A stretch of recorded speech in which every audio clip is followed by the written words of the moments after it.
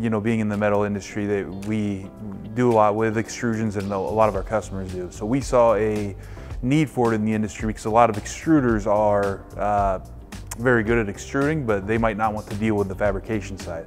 So um, as some of our customers struggled getting some of the stuff, some of their product um, fabricated, um, but yeah, that's kind of how we got into it. Uh, we do have a lot of capacity. We have built it for uh, delivery type vehicles and, and it's something we think we can grow and help extruders um, with something that they don't really want to do and they can focus on what they're good at and we can focus on what, what we're good at.